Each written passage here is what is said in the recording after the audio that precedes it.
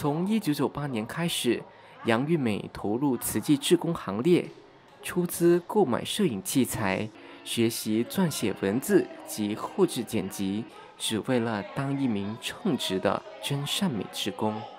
每一次活动，都可看到他拿着相机和录影机记录当下画面。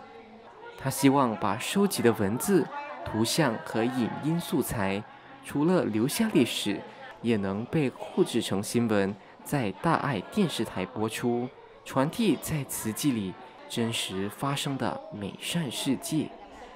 至今走过二十四年，就算被医生宣判患上肺癌，他也没有停下脚步。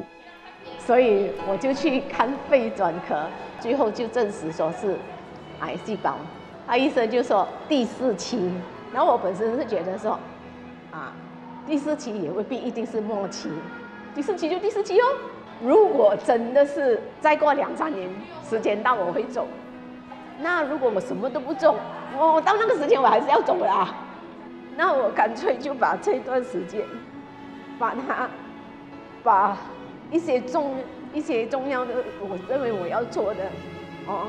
要完成的东西，就把它完成。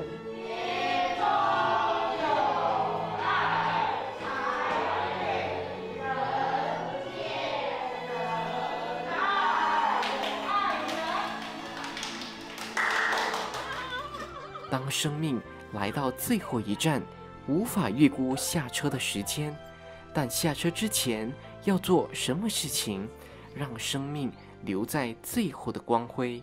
照耀所爱的人，自主权还是掌握在自己手上。